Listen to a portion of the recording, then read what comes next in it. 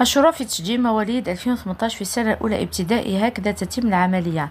فتحت وزارة التربية الوطنية باب التسجيل الاستثنائي في السنة الأولى ابتدائي لمواليد سنة 2018 وحسب تعليما للوزارة فإن التسجيل الاستثنائي في السنة الأولى ابتدائي يكون عبر الأرضية الرقمية لوزارة التربية دون سواها ابتداء من الدخول المدرسي في 23 2024 ويمكن طلب التسجيل الاستثنائي في السنة الأولى ابتدائي للأطفال المولودين خلال فترة من 1 جونفي إلى 31 مارس 2018 كما أن العملية تخص التلاميذ المولودين شهر جونفي في مارس 2018 ويسمى يسمح لهؤلاء المتمدرسين التمدرس مباشرة في السنة الأولى ولكن بشرط توفر المقاعد البيداغوجية في قسم الأولى وأن لا يتجاوز عدد التلاميذ السنة الأولى 34 تلميذ.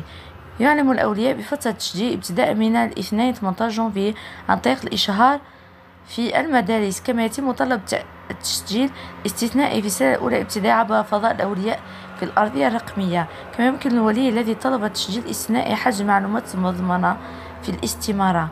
أتمنى أن يفيدكم الخبر. لا تنسوا اشتراك تفعيل زر الجرس والضغط على لايك. لا تنسوا مشاركة الفيديو لتعم الفائدة.